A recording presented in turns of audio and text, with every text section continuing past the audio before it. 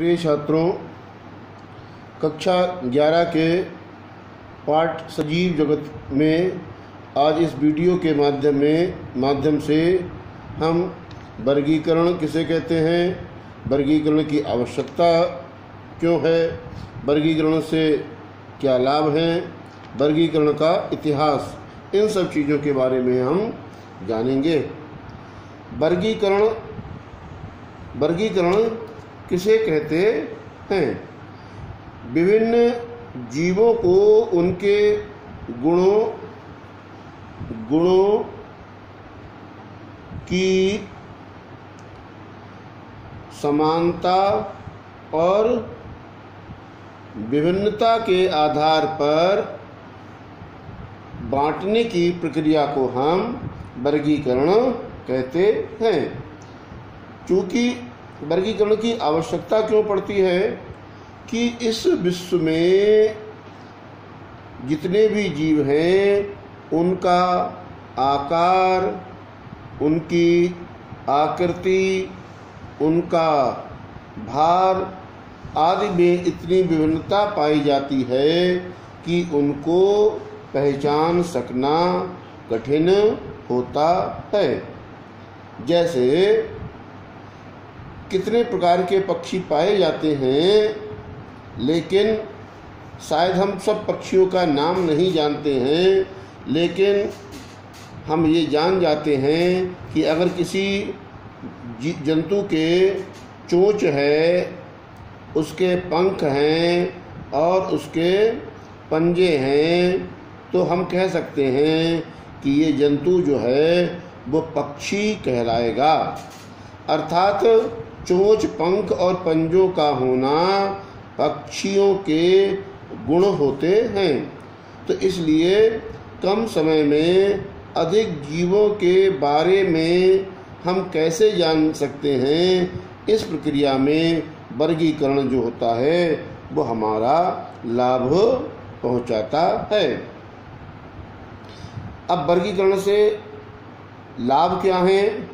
Number एक हमें जीवों की विविधता का अध्ययन करने में आसानी होती है, उनकी उत्पत्ति के बारे में सीखने में आसानी होती है। उनका इस जीव जगत में स्थान क्या है, उसके बारे में जानने में आसानी होती है और उनका विकास क्रम में और उसके प्रमाण के बारे में अध्ययन करने में आसानी होती। अर्थात वर्गीकरण के द्वारा इस जीव मंडल में पाई जाने वाली जैव विविधता के अध्ययन को करने में, विभिन्न जीवों को की उत्पत्ति के संदर्भ में, किसी जीव का जीव जगत में स्थान के संदर्भ में और उसके विकास के क्रम को समझने में वर्गीकरण हमें मदद करता है। अब ये प्रश्न आता है कि आखिर ये वर्गीकरण प्रारंभ कब से हुआ? फ़िलहाल वर्गीकरण तो अनादिकाल से चला आ रहा है। हम लोग अपनी अपनी आवश्यकता के अनुसार अपनी अपनी ज्ञान के अनुसार उसको किसी वस्तु को, जीवों को वर्गीकृत करते हैं।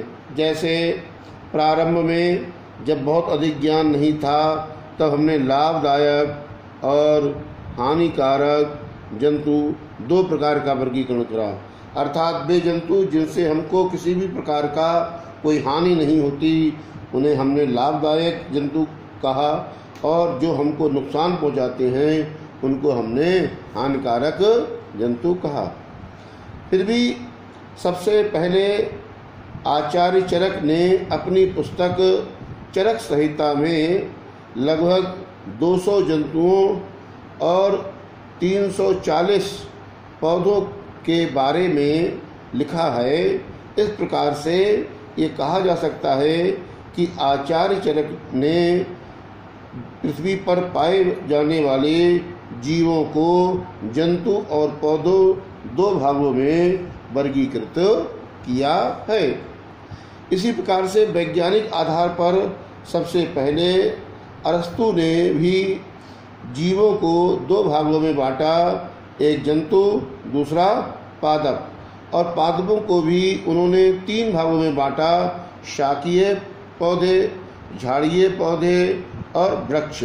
अर्थात जिन पौधों के तने कोमल होते हैं, जिनकी लंबाई छोटी होती है, जिनके तने हरे होते हैं उनको शाकीय पौधे कहते हैं, जो पौधे ज़मीन से निकलते ही अनेक शाखाओं में बढ़ जाते हैं और उनका तना काष्ठीय होता है, कठोर होता है, उसको हम झाड़ी कहते हैं।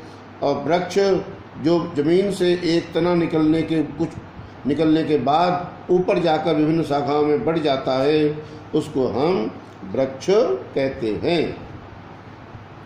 इसी प्रकार से थियोफ्रिस्ट थियो थियोफ्रेस्टस ने अपनी पुस्तक हिस्टोरिया प्लांटेरम में लगभग 480 480 जीवों का या पौधों का वर्णन किया है।